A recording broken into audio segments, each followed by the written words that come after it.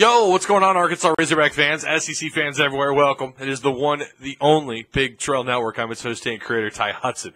I hope you had a wonderful weekend. I hope you were, if you if you live down in the River Valley or Crawford County or anywhere on that in that area where all the flooding is, I hope you were safe. I know that was uh, probably not how you envisioned your weekend going, but it's uh, that you know the result of all those storms and everything. I, I just hope everybody was safe. Thoughts and prayers with everybody who, who's been affected by the floods, also over in the eastern part of Oklahoma as well.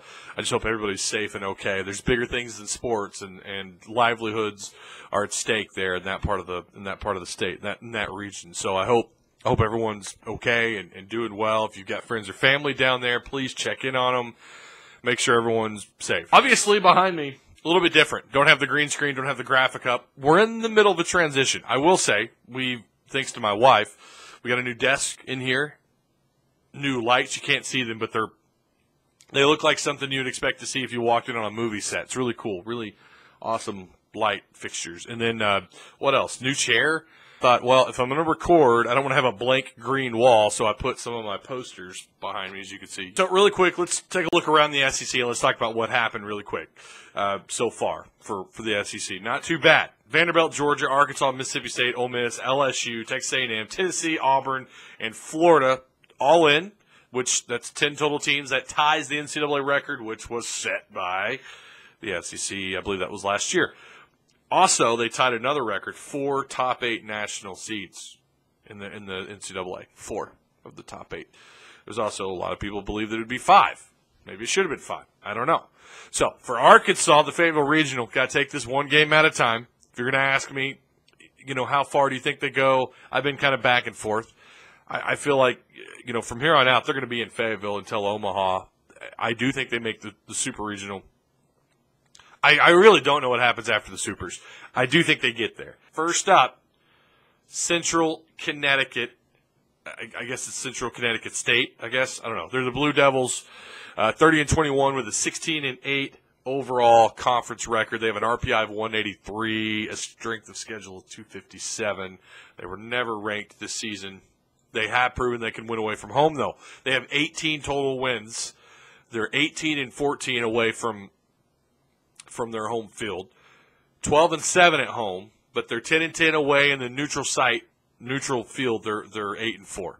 Conference play they like I said 16 and and 8, non-conference record 14 and 13. They don't have a very good RPI, their strength of schedule is not very good. From what I understand, what little I know about them is they're kind of a bullpen rich team. Well, you know, they're, they're, they lean a lot on their bullpen. We'll have to wait and see how this thing all unravels, but I, I like Arkansas's chances in this game. If we are truly taking it one game at a time, I like their odds here. So beyond that, I think it's beyond this regional. I think it's kind of a coin flip, but I do think they end up probably TCU's is would be my bet would be the other team in this tournament that could be troublesome. But you never know. I mean, listen, this time of year anybody can beat anybody. I mean, that's true in baseball in general. You can't win them all. I have to remind a group of friends of mine of that constantly. You can't win them all. But uh, this time of year, anybody really can beat anybody, especially when you look at a team that, that won their way or got their way to the Fayetteville Regional by winning their, their tournament. You know they're on cloud nine right now, and they're they're you know they're on the road against a big time opponent in a big time stadium. I mean, come on, you know they're going to bring their hats. They're ready to play. They're bringing their bats, their cleats you know, they're ready to go. Let's take a look some more. Let's let's dig up some more dirt on Central Connecticut really quick. Uh, their overall RPI rank, remember, it's not very good. It's 183. Their strength of schedule is 257. Their non-conference strength of schedule is 281. Okay, let's let's compare them in Arkansas really quick based on who they've played. 1 through 25 RPI rank, they've not played anybody. Okay, 26 to 50, they're 0 and 1 against teams that are ranked of, or have an RPI of that of that caliber, 26 to 50. 51 to 100, they're 3 and 7. 101 to 200, they're 1 and 7. 201 plus RPI rank, they're 26 and 6. Now compare that to Arkansas is really fast. Yes, we know it's going to be better, but how much better? Arkansas with that top 6, top 8 RPI, 14th ranked overall strength of schedule, impressive. They're 1 through 25 teams that they played in the RPI rank. They're 14 and 10, 5 and 1, 26 to 50, 51 to 100. They're 7 and 5, 10 and 1 against teams 101 to 200. Where was Central Connecticut? Come on.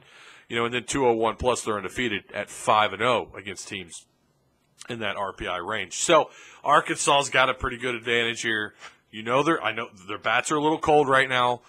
Middle bullpen, the, the, the middle relief is there's some question marks there. I get it, but I feel like overall Arkansas's got again. I just think they get out of this regional. I think they do make super the super regional, and they'll probably end up playing Ole Miss again. Let me know down below. Also, I'm not being promoted by D1Baseball.com, but I thought I'd bring this up. I do actually have a bracket up. You can join my group, and we can obviously compare and compete if it's anything like ESPN's. I've never actually done this before for D1Baseball.com, but the, yeah, they do have their own. If you're interested in joining my bracket group, send me your email. Either leave it down below in the comment section if you're able. You can email it to me, tyzilla83 at gmail.com. You can, you can hit me up on Twitter. Let me know that you want to join the, the bracket group on D1Baseball.com, and uh, I'll add you through your email. So if you're interested, let me know. Send me your email. That's going to do it. Remember to like, comment, share the content that you just watched. And of course, if you haven't already, feel free to tap the subscribe button. Check out the links down below the description box. And uh, we'll give you some more updates this week. You guys be good. Go Hogs.